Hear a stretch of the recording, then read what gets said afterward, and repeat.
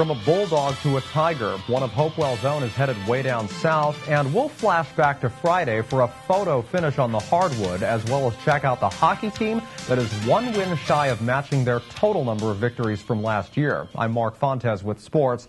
Hopewell Valley Baseball, a longtime staple in the Mercer County tournament and in state play, looks forward to this spring with star shortstop Kevin Bradley. Bradley can hardly wait either, but furthermore, he's looking forward to the four seasons that follow, too. The senior today signed a letter of intent to play at Clemson University. The deal sends Bradley there with a full ride scholarship. Bradley will play shortstop for the Tigers, but says coaches may want him to play a couple of other infield positions, too. He says Clemson was the first school to make him an offer. Bradley adds that he is not sure sure yet what he wants to major in, but says the warm South Carolina weather will allow him to play his favorite game year round. I always knew that I wanted to go to a place with uh, big time other sports, and uh, this year it's been real fun watching the football team. And uh, being a being a Clemson fan, another big factor in choosing a school that was uh, in the South is being able to play and play outside uh, 12 months out of the year. Bradley, by the way, is the son of Princeton University baseball coach Scott Bradley, who in his own playing days was a standout at the University of North Carolina in the early 80s. To Friday we go. Already this autumn, things have been heating up between Princeton Day and Pennington. In October, Red Raider boys soccer beat the Panthers, and just two weeks ago, PDS returned the favor in ice hockey. Well, in boys basketball, a back and forth game Friday came down to the contest's dramatic final minute. The Princeton Day Zoo out in full force Friday at the Pennington School where the Red Raider Nation wanted to take this fight to the finish. Two point lead for PDS closing inside of a minute to go. Miles Stevens with it just outside the arc. Dishes to Isaiah Taylor. He heads into the lane, feeds it back to Stevens who goes for the lead. No good. Rebound. BJ Dudek covered tightly, mainly by Kason Randolph. Dudek though able to find Devon Reed. He moves up court with it. Reed's pass to Langston Glaude. He's right there. Can't bank it, but there's Reed with the board and the bucket. A two possession game as the whistle blows. Just over 40 to play. Pennington needing a quick score, then a stop or a foul to have a chance. James Anderson of the Red Raiders dribbling up court, evaluating his options. Randolph right alongside him gets the ball. Randolph for three. You hear the whistle, air ball, but he was fouled. That'll mean three attempts from the line. Here it is again. Glaude covering him. He goes up to try and block the shot, but it's a little too much of Randolph that he gets and not the ball. A trio of free throw attempts. First one good by Randolph. Three point game. Second try.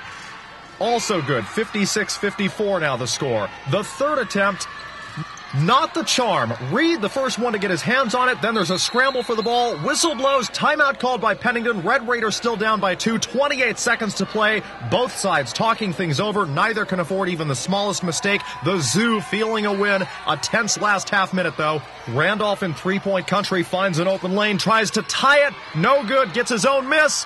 Still can't hit it though. Matt Cook comes down with it, but Randolph knocks it out of bounds. So Cook with the lucky break of the night. 5.8 to play. Now the Panthers will get to inbound it. Cook hooks up with Dudek. No foul called there. Glaude with it tries to run out the clock. Taylor fouls him, but go ahead, Zoo. The refs made PDS inbound it once more, then time ran out once and for all. The Princeton Day Panthers hold on for a thrilling 56-54 win as the Zoo rushes the court in celebration. PDS boys basketball improved to 3-0 Friday night. Now to hockey. Steinert won only four games all of last season on the ice. Tonight against West Windsor South, they're going for a 4-0 start. And of course, Friday's matchup with Lawrence High was another pleasant surprise in a bright and early part of this Spartan campaign. Lawrence hockey, the red visitors against Steinert in the white jerseys. The bleacher creatures who hollered everything Friday from Steinert football to Steinert soccer how about Spartan Ice Hockey looking to stay undefeated Friday? Alex Verde shot saved nicely here by Lawrence goalie Alex Finan. Cards on offense. That's Corey Zrinko trying to notch an unassisted goal, but PJ Alexiadis there to stop it.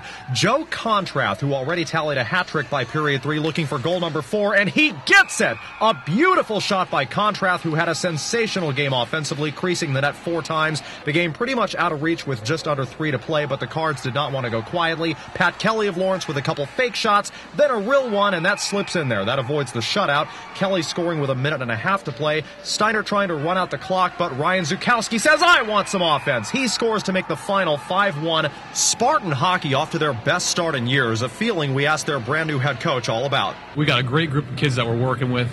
Um, I have an unbelievable assistant coach, Coach Rossi. He, uh, he's really helping out.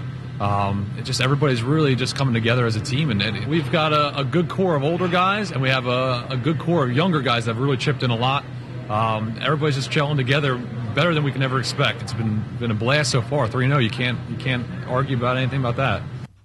And finally, Team of the Day is brought to you by Prior NAMI Business Systems, a full-line computer sales and service center, your business solutions headquarters.